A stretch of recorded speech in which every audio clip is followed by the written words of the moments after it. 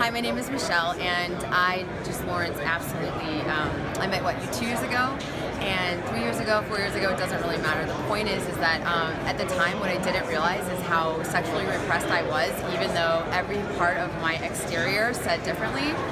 And Lawrence just sat me down in a hotel lobby, with nothing fancy, and started running energy on me, and was working on like cleaning out my chakras. And I had all of this just like pent up um, anger and fear and just like stuck nasty energy.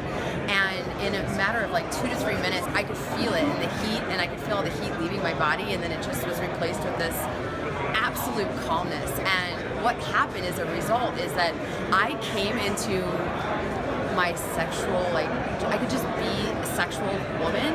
Before I thought to be sexual, I had to manipulate, I had to, um?